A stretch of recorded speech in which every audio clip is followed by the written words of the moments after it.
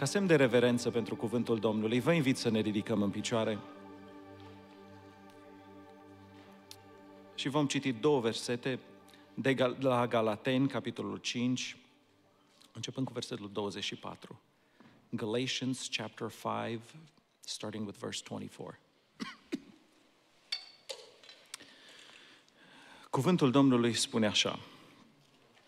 Cei ce sunt al lui Hristos Isus și-au răstignit firea pămintească împreună cu patimile și poftele ei. Dacă trăim prin Duhul, să și umblăm prin Duhul. Amin. Vă invit cu respect să reocupați locurile.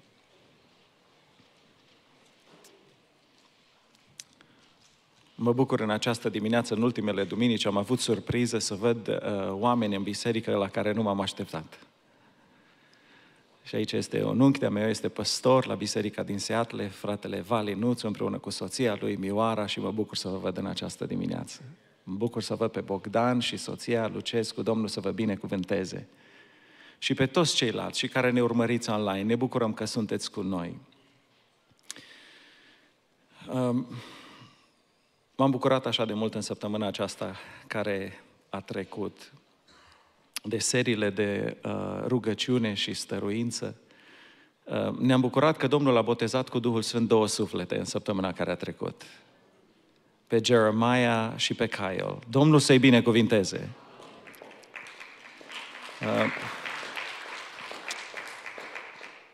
mă bucur însă foarte mult că Cred că mulți din cei care ați fost la rugăciune și dumneavoastră ați fost umpluți din nou cu Duhul Domnului, de o umplere proaspătă și avem nevoie de lucrul acesta.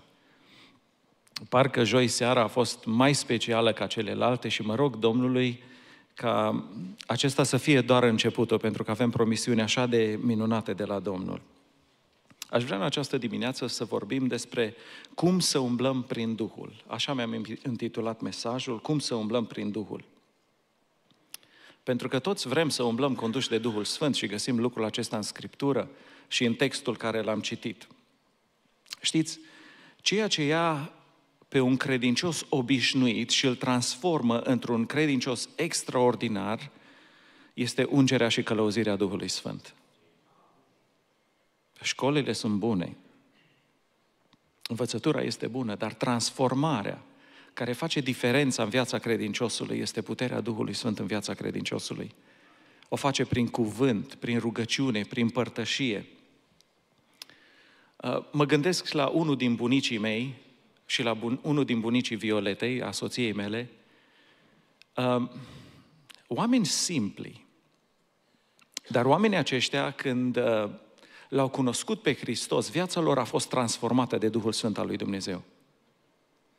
Oamenii aceștia au experimentat minuni, vindecări, eliberări, lucruri absolut deosebite. Au avut o viață cu impact.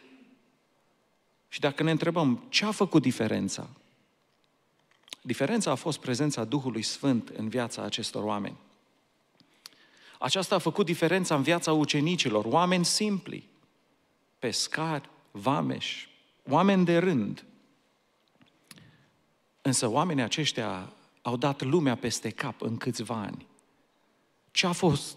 Care a fost diferența? Prezența Duhului Sfânt în viața lor. Spune în Faptele Apostolilor, capitolul 4, cu versetul 13, când au văzut ei îndrăzneala lui Petru și a lui Ioan, s-au mirat. Întrucât știau că erau oameni necărturari, oameni de rând, și au priceput că fuseseră cu Isus. Știți că este o diferență când petrecem timp cu Domnul în părtășie, în intimitate? Că lucrul acesta se vede în afară? Uh, nașterea din nou este lucrul care este predicat foarte mult și este un lucru absolut esențial și important. Și în momentul când noi suntem născuți din nou și uh, intră Duhul Sfânt în viața noastră și Duhul nostru se unește cu Duhul lui Dumnezeu și Duhul nostru este adus la viață și devenim născuți din nou, lucrul acesta ne califică pentru o umblare cu Duhul Sfânt pentru restul vieții, pentru o ungere, o împuternicire, la care aș spune eu, mulți sunt inconștienți de lucrul acesta. Cred că este foarte important să înțelegem diferența între trup, suflet și duh pentru a înțelege călăuzirea Duhului Sfânt în viața noastră. Trupul acesta în care suntem noi este locuința sufletului și a Duhului nostru. Sufletul nostru, personalitatea noastră, Duhul nostru are nevoie de locuință și locuiește în trupul acesta. Sufletul nostru cuprinde mintea, voința, sentimentele, emoțiile noastre, este personalitatea noastră, este voința noastră, ce gândesc, ce vreau, ce doresc, what I think, what I feel, what I want, what I desire. Duhul este partea aceea lăuntrică din noi care a fost făcută, există pentru a avea părtășie cu Dumnezeu. Și firea pământească este partea a sufletului nostru care a fost și este afectată de păcatul adamic. Știți, sunt credincioși care vin la Domnul, experimentează nașterea din nou și rămân într-o confuzie oarecare când văd în viața lor, în gândirea lor, în sentimentele lor anumite porniri care sunt contrare cuvântului lui Dumnezeu. Și unii din ei nu știu cu cine să se identifice. Cine sunt eu? Omul acela născut din nou, bucuria care am experimentat-o. Sau poftele acestea, dorințele acestea, gândurile acestea care vin la mine, care sunt total contrar Scripturii și contrar cuvântului lui Dumnezeu. Și stau așa într-o cumpănă. Which one is the real me? Aș vrea să vorbim despre lucrurile acestea în această dimineață. Cuvântul Domnului spune așa, toți cei ce sunt cu adevărat copii al lui Dumnezeu au ceva în comun. Spune că cei ce sunt al lui Hristos Iisus și-au răsticnit firea pământească împreună cu patimile și poftele ei. Ce și-au răsticnit? Și-au răsticnit gândirea lor, voința lor, dorințele lor, sentimentele lor, pentru că lumea astăzi este condusă de firea pământească, oamenii din lume. Fac ce vor ei, ce gândesc ei, ce doresc, își imaginează ceva și fac. Însă, cei care sunt al lui Isus Hristos trăiesc, dar răsticnesc toate aceste lucruri. Aceștia și-au răsticnit și răsticnesc în fiecare zi. Spunea Domnul Isus în Luca, capitolul 9, cu versetul 23, Dacă voiește cineva să vină după mine, să se lepede de sine, să-și ia crucea în fiecare zi și să mă urmeze. Dacă vrea cineva să devină credincios, dacă vrea cineva să-L urmeze pe Domnul, să meargă după El, trebuie să se lepede de sine. De ce? De ce gândesc eu, de ce vreau eu, de ce doresc eu? Să-și ia crucea în fiecare zi și să mă urmeze. Răstignirea aceasta a firii noastre pământești este un lucru opțional adică opțional. Nu este opțional pentru un credincios, dar avem o alegere în fiecare zi. Dacă vrem să facem lucrul acesta sau nu. Crucea are un singur, un singur scop, răsticnire și o răsticnire dureroasă. Dacă spune cineva care este credincios, că îl urmează pe Domnul, că viața de om credincios este o viață ușoară, omul acela nu a experimentat răsticnirea firii lui pământești. Poate a experimentat nașterea din nou, însă în continuare trăiește după impulsurile care le are, după ce gândește, ce voiește. Și credincioșii care nu-și răsticnesc firea pământească, să știți, sunt credincioșii care fac cele mai mari probleme în familiile în care se află, în biserica în care sunt membri, în societate acolo unde sunt, de cele mai multe ori, oamenii aceștia sunt oameni foarte talentați. De aceea se încred în firea lor pământească. Au abilități, sunt inteligenți, dăruiți, talentați. Problema este, sunt firești. Noi ne imaginăm de obicei când spune cineva că cineva este firesc, ne gândim automat la păcate. Da, și acestea fac parte uh, din firea pământească, că trebuie să răstignim firea împreună cu patimile și poftele, dar în afară de patim și poftele, gândirea mea separată de Dumnezeu, dorințele mele separate de Dumnezeu, toate acestea sunt firești. Și astfel de oameni au întotdeauna idei despre cum, când, unde și cine trebuie să se facă uh, lucrarea Domnului. Cum trebuie să-și trăiască cineva viața. Pentru că firea mereu spune, eu cred, eu simt, eu doresc, eu vreau. Problema este că ceea ce gândesc eu, ce doresc eu și ce vreau eu, nu contează absolut deloc în împărăția lui Dumnezeu. Nu are nicio valoare. Singurul lucru care contează în împărăția lui Dumnezeu este ce vrea Dumnezeu, ce dorește El, ce simte El, cum vede El lucrurile, care este planul Lui. Pentru că Biserica Domnului este o teocrație unde Dumnezeu este împărat și El poruncește, El spune ce trebuie de făcut. Iar noi dacă vrem să aflăm care este părerea Domnului, opinia Lui, planul Lui, pentru noi, pentru viața noastră, pentru familiile noastre, pentru biserică, trebuie să venim la Domnul. Avem nevoie în acest proces să răsticnim firea noastră pământească.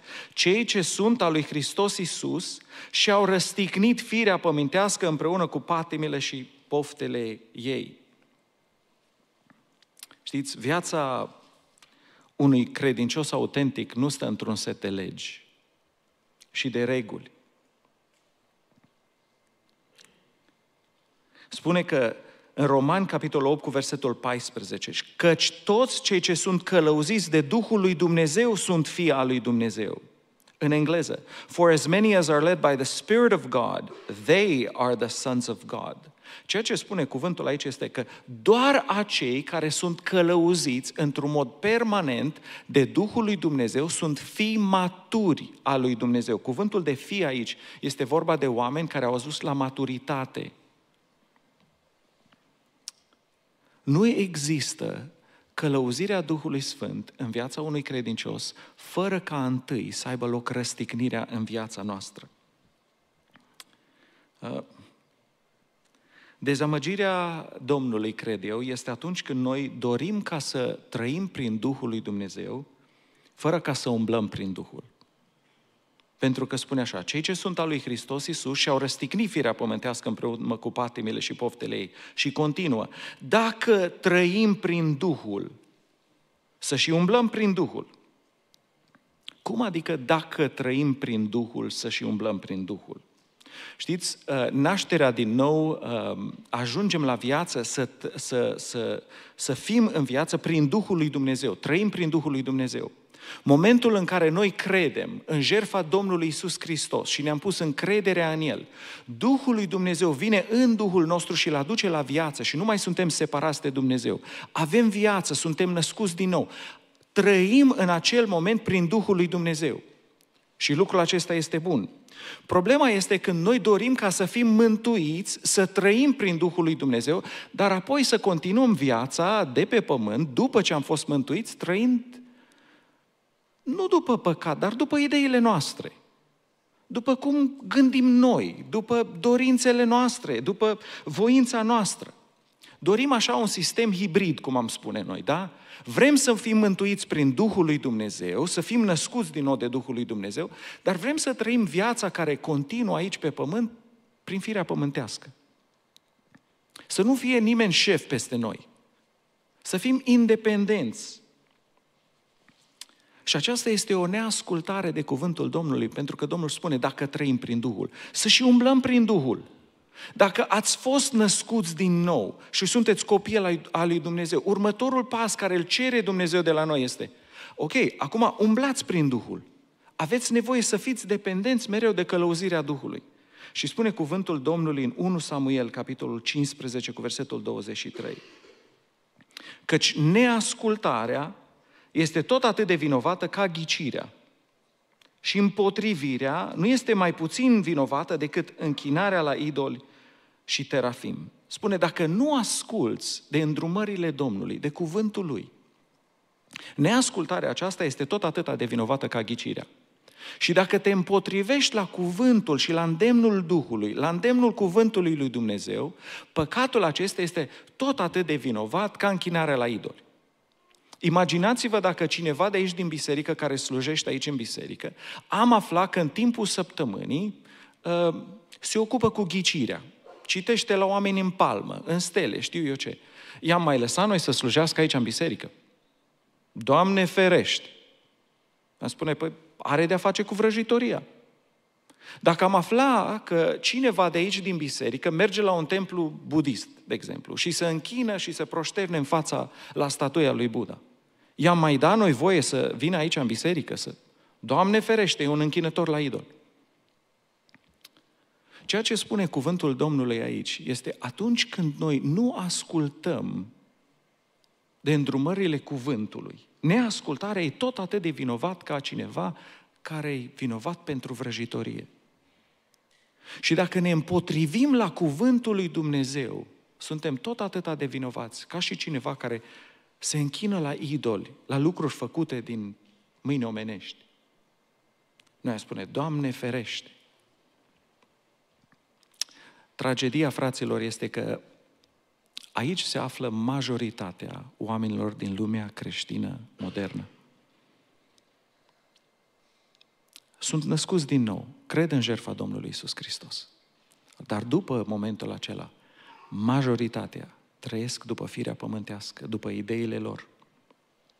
Și Domnul are o altă așteptare de la noi. Spune, dacă trăim prin Duhul, dacă ați fost născuți din nou, faceți și următorul pas.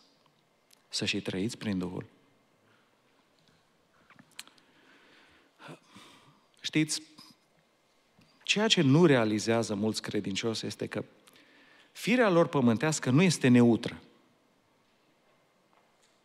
Este chiar împotriva voinței lui Dumnezeu. Și noi ne gândim, dar nu trăiesc în păcat, nu trăiesc după nu știu ce pofte, doar îmi trăiesc și eu viața mea așa, condus de gândirea mea. Ce poate să fie atâta de rău? În Galateni 5, cu versetul 16, scrie apostolul, Zic dar, umblați cârmuiți de Duhul și nu împliniți poftele firii pământești. Deci ați fost născuți din nou, următorul pas. Umblați acum, călăuziți de Duhul ca să călăuziți de Duhul. Trebuie să restigniți firea, nu împliniți poftele firii pământești. De ce? Căci firea pământească poftește împotriva Duhului și Duhul poftește împotriva firii pământești. Sunt lucruri potrivnice unele altora. altora. Așa că, concluzia, nu puteți face tot ce voiți. Nu pot să fac ce vreau eu ce gândesc eu, ce simt eu. De ce? Pentru că ceea ce gândesc eu, ce voiesc eu, ce simt eu, este împotriva la ceea ce vrea Domnul, ce simte Domnul, ce dorește El. Firea noastră pământească, gândirea noastră, impulsurile noastre, nu numai că nu sunt neutre, dar sunt chiar împotriva voinței Duhului Sfânt. Gândiți-vă dumneavoastră ce aduce împlinire cu adevărat în viața dumneavoastră. Ceea ce aduce cea mai mare împlinire este părtășia care o avem cu Domnul. Ceea care aduce cea mai mare împlinire în viața noastră este părtășia care o avem cu Mântuitorul nostru prin Duhul Sfânt. Gândiți-vă la evenimente din viața dumneavoastră la care ați crezut că atunci când o să ajungeți acolo, o să vă bucurați foarte mult și o să vă aducă împlinire, nu? Mulți s-au gândit că dacă ajung în America, America o să aducă o mare împlinire. America e foarte faină, dar vă întreb, v-a adus împlinire? Nu. No. Uh, poate v-ați gândit, ok, să ajung să am o stare materială, să am finanțe, să fiu pus la punct financiar și atunci o să fiu liniștit și împlinit. Și ajung oamenii să aibă finanțe și tot nu sunt împliniți. M-am gândit când o să termin școala, nu, și îmi dă titlul acela de doctor, o să fiu și eu împlinit. A fost un moment foarte fain, au trecut 24 de ani de atunci, dar nu aduce împlinire. Um, îl întreba cineva pe Tom Brady dacă este împlinit și fericit. Pentru cei care nu știți, este un sportiv de fotbal american care a făcut sute de milioane în cariera lui, uh, a câștigat șase campionate, uh, este considerat cel mai bun jucător al jocului din toate vremurile și a avut tot ce oferă lumea aceasta. Căsătorit de mai multe ori, de fiecare dată cu supermodele, în ghilimele. Și după toate acestea, cineva i-a pus microfonul sub nas și l-a întrebat, ok, acum, ești fericit, ești împlinit? S-a gândit o secundă și a zis, nu.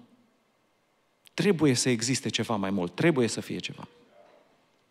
Adevărul este acesta că este ceva mai mult. Putem să căutăm noi împlinire în toate lucrurile acestea care ni le sugerează cel rău și care le sugerează firea noastră pământească. Tragedia este de fiecare dată când ajungem acolo, rămâne un gol. Și mulți își petrec toată viața căutând să umple acel gol și nimic nu se potrivește. Pentru că golul acela a făcut, a fost făcut pentru ca noi să fim într-o comuniune, într-o părtășie cu Duhul Sfânt al lui Dumnezeu. Locul acela, golul acela al lui Dumnezeu din inima noastră, nu poate fi umplut de absolut nimic altceva. Dumnezeu a trasat o cale pentru fiecare din noi. Atunci când ne-a creat în pântecele mamei, când ne-a dat ADN-ul care îl avem, a trasat o cale pentru fiecare din noi. Ne-a dat abilități, ne-a dăruit cu anumite lucruri ca să putem să împlinim acel plan al lui Dumnezeu.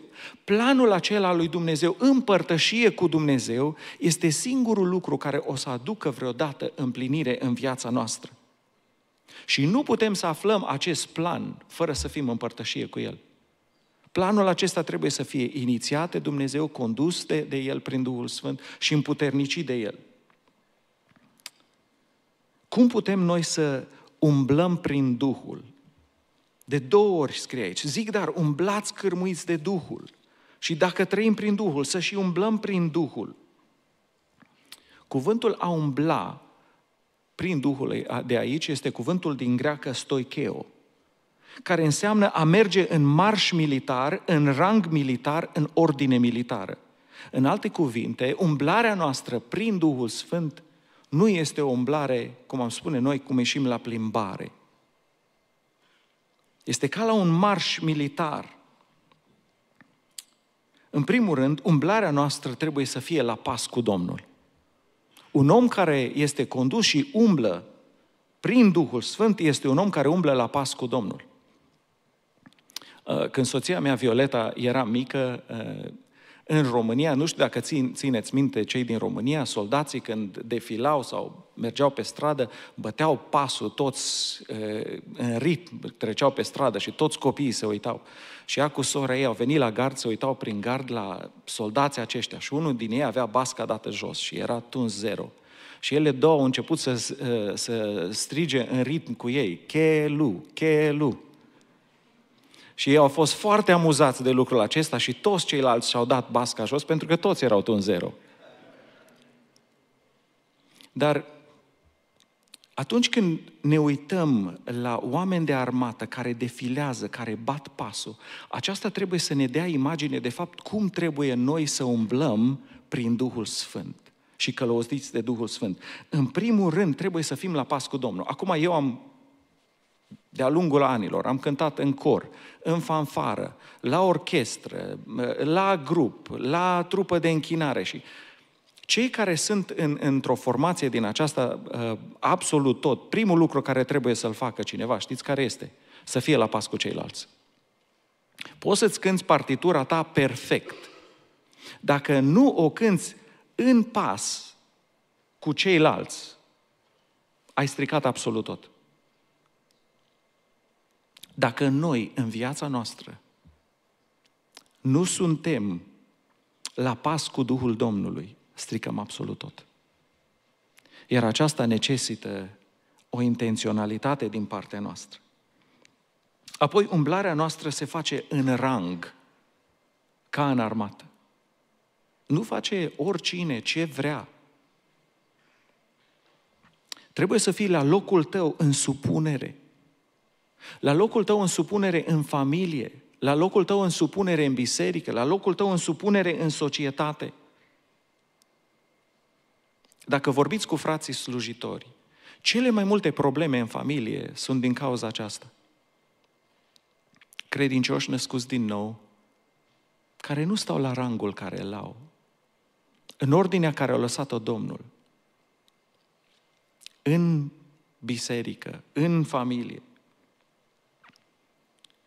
Majoritatea problemelor care sunt în biserică, de multe ori, oamenii nu stau la locul lor de supunere unde i-a chemat Domnul. Umblarea prin, prin Duhul se face în rang. Știți că sunt oameni care cred că poate foarte ușor fac, să facă toate celelalte lucruri, doar să nu fie supusă în familie, soția să nu fie supusă soțului, copiii să nu fie supuși părinților, în biserică să nu fie oamenii supuși autorității și spun, noi suntem călăuziți de Duhul Domnului și e, trec de ordinea aceasta. Nu poți să fii călăuzit de Duhul lui Dumnezeu dacă nu ești în supunere la ordinea și rangul care ți l-a dat Dumnezeu. Apoi, umblarea prin Duhul se face în ordine. Adică la timpul Domnului, nu când vreau eu. Majoritatea, sau sunt foarte mulți din bisericile noastre, sunt involvați în construcție, da? Imaginați-vă că construiți o casă, se pune temelia, se ridică pereții și nu este nicio ordine în cine vine primul, cine vine a doilea. Nu. Vin uh, oamenii să pună drywall dar electricianul și plamărul nu și-a terminat lucru. Par fi un haos. Atunci când noi spunem că noi umblăm călăuziți de Duhul, să știți că umblăm în ordine la timpul Domnului. Apoi umblarea prin Duhul se face în atenție. Știți, soldații aceștia care defilează întotdeauna sunt atenți la superiori, ca să audă comanda. Umblarea prin Duhul se face în atenție, adică suntem sensibili și receptivi ca să auzim vocea Duhului Sfânt, să auzim instrucțiunile, să auzim comanda superiorului. Iar aceasta, din nou, necesită intenționalitate din partea noastră. Să fim mereu sensibili, să avem mereu, mereu timp cu Domnul ca să auzim vocea Lui și instrucțiunile care le are pentru noi. Și știți, în momentul când noi nu suntem sensibili Duhului Sfânt, noi suntem sensibili. Suntem sensibili automat firii pământești. Nu există nici aici stare de neutralitate. Întotdeauna avem o sensibilitate. Întrebarea este, unde este sensibilitatea noastră? Suntem sensibili la, ce, la dorințele noastre, la ce gândim, ce vrem noi, sau suntem sensibili la Duhul Domnului? Iar apoi umblarea noastră se face cu un scop. Ca să împlinim chemarea, să împlinim mandatul care ni l-a dat Domnul. Spunea Domnul Isus în Ioan capitolul 17 cu versetul 4. Spunea, eu te-am proslăvit pe pământ. Cum l-a proslăvit Domnul Isus pe Tatăl pe pământ? Am sfârșit lucrarea pe care mi-ai dat-o să o fac. Știți că lucrul acesta îl proslăvește pe Dumnezeu?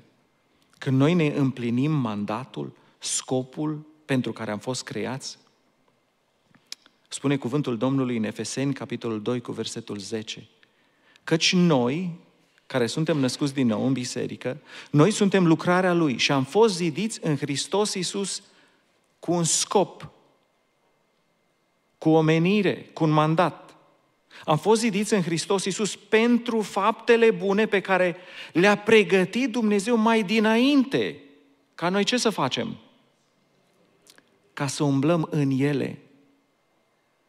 Știți, sunt atâția oameni care au, cred că fac lucruri bune. Au tot felul de idei. Ce trebuie făcut? Problema este nu dacă avem idei, ci dacă am primit revelație. Pentru că noi am fost creați cu un scop. Are o lucrare care a pregătit-o Dumnezeu pentru fiecare din noi, ca noi să umblăm în acea, în acea uh, lucrare. Să împlinim lucrurile, faptele, lucrările care le are Domnul pentru noi. Umblarea prin Duhul se face întotdeauna cu un scop, ca fiecare din noi să ne împlinim chemarea, mandatul care o are Domnul pentru noi.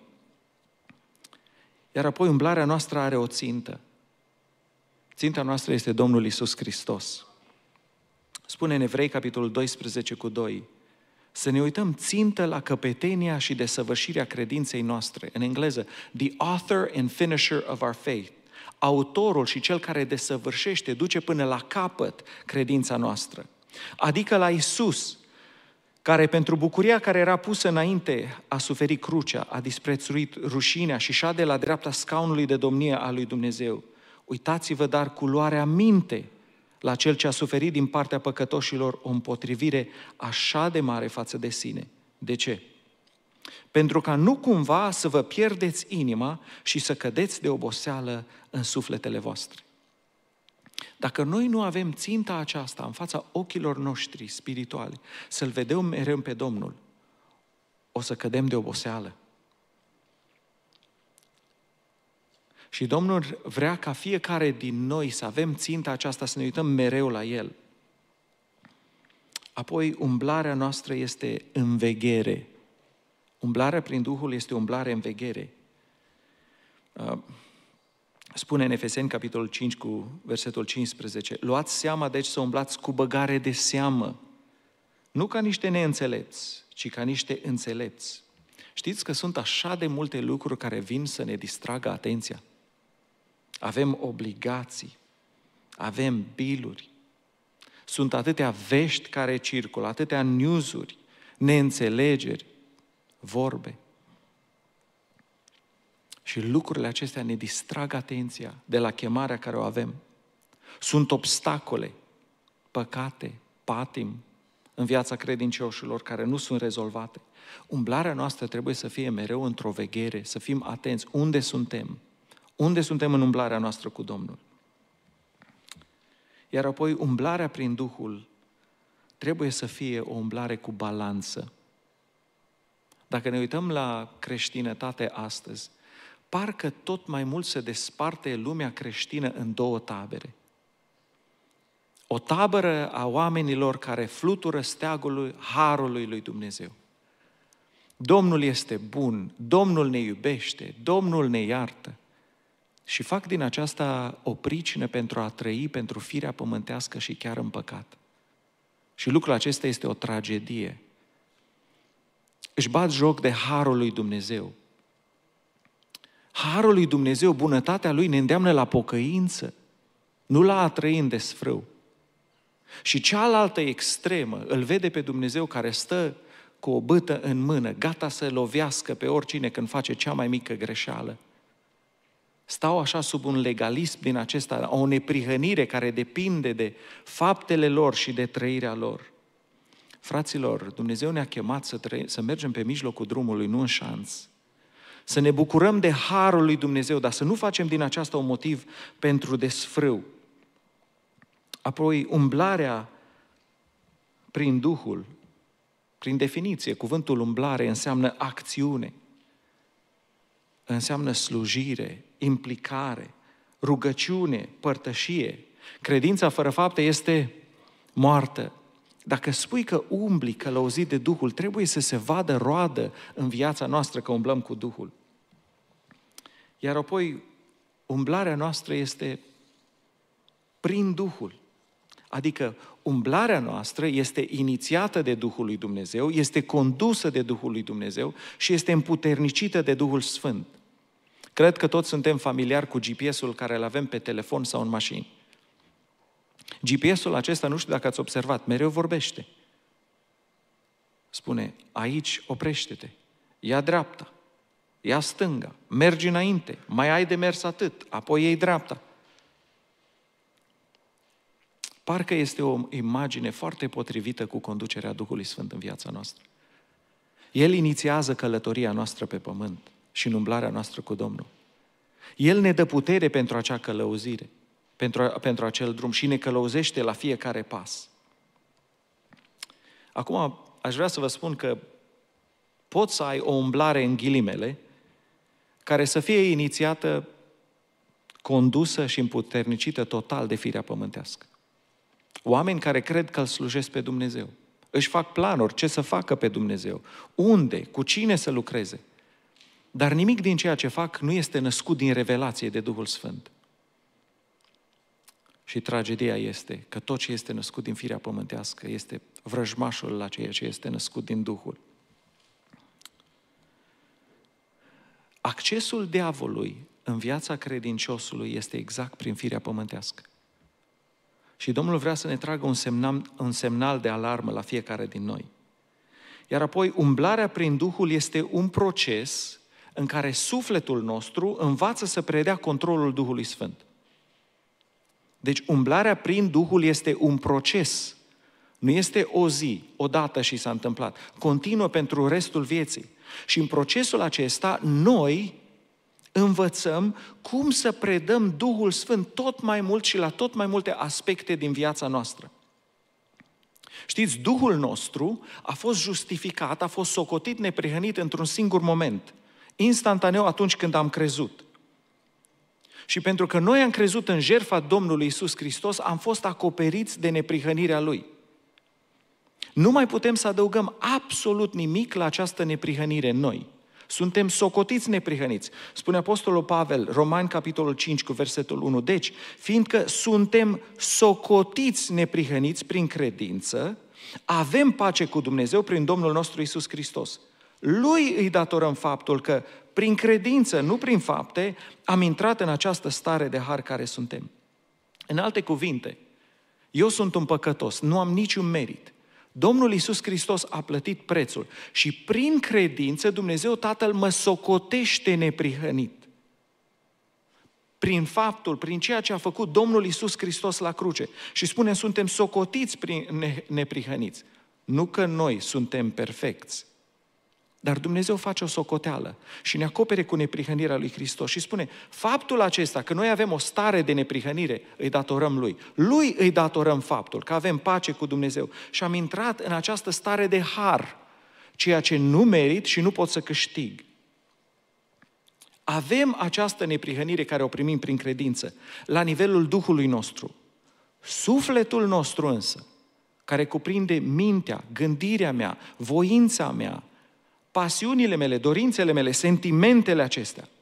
Acestea sunt într-un proces de sfințire în care noi învățăm treptat și continuu să predăm controlul Duhului Sfânt, să lăsăm să intre în fiecare parte a sufletului nostru, a vieții noastre. Și acesta este un proces care e continuu și în creștere.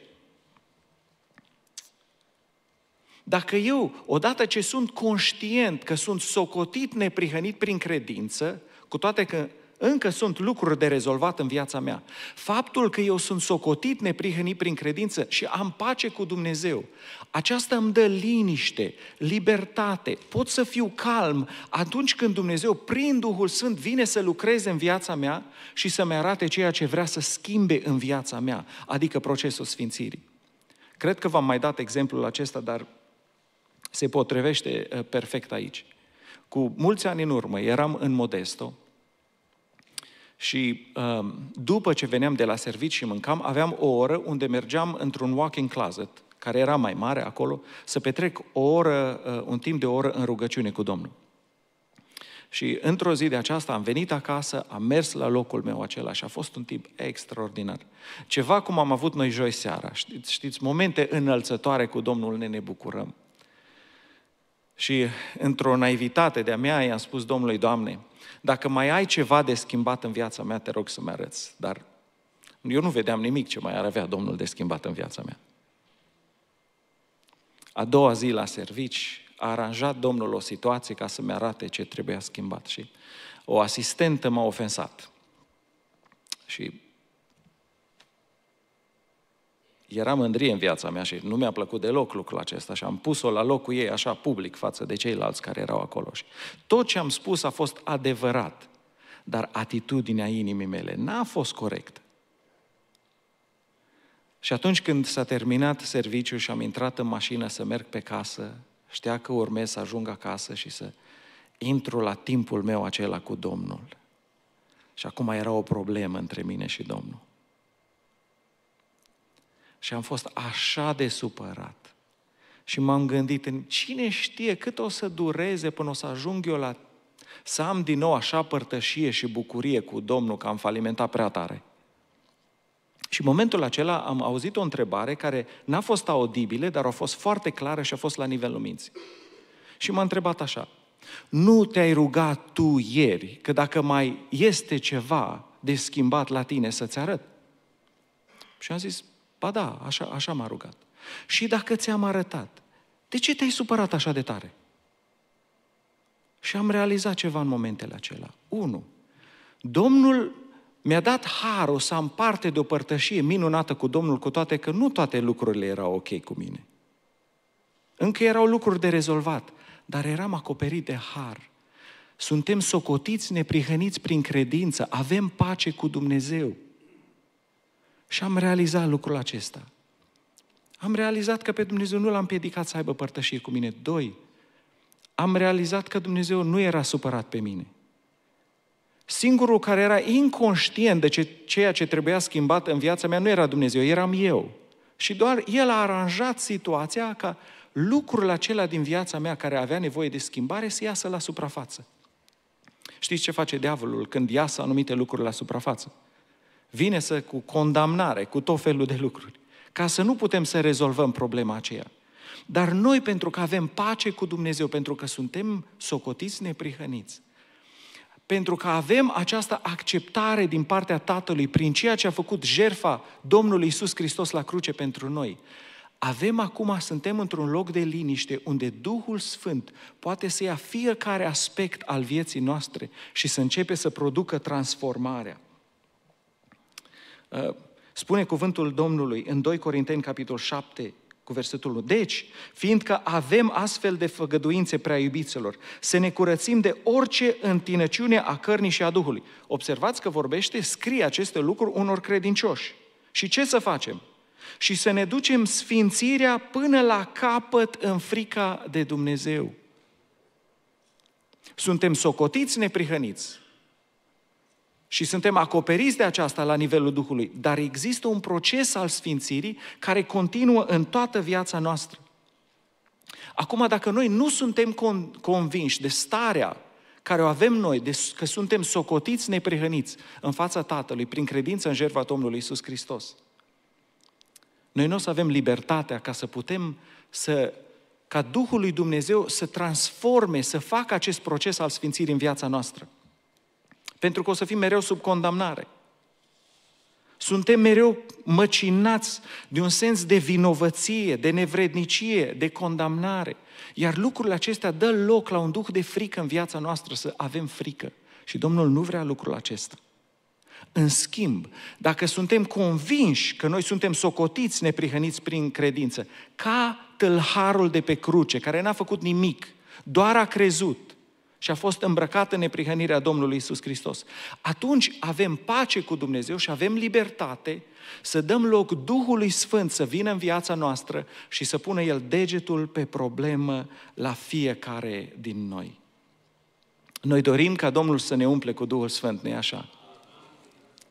Nu ați vrea ca Duhul Sfânt să pornească din nou acest proces al sfințirii în viața noastră și în Biserica Emanuel? În primul rând, trebuie să devenim conștienți că noi suntem socotiți neprihăniți. În al doilea rând, trebuie să facem loc Duhului Sfânt în viața noastră, într-un timp de părtășie zilnică, să lăsăm pe Dumnezeu, să răstignim firea noastră pământească, ce gândesc eu, ce doresc eu, ce simt eu, să-i facem loc Duhului Sfânt să vină El să ne reveleze ce avem de făcut, să ne împuternicească și apoi să ne călăuzească. Și dorim ca în săptămânile acestea Domnul să facă lucrul acesta în viețile noastre și în biserica noastră.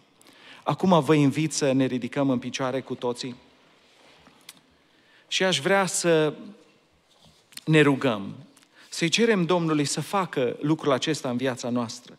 Să-i mulțumim Domnului pentru familiile minunate care le avem în biserică, care astăzi au fost afișate, pe care Domnul i-a ajutat pe cei foarte mulți din ei să ajungă la o vârstă înaintată, la o vârstă frumoasă cu Domnul. Să ne rugăm pentru Genesis, care urmează să se căsătorească, să plece spre Seattle. Să ne rugăm ca Domnul să se îndure de noi și să ne binecuvinteze, așa cum stăm, să ne rugăm.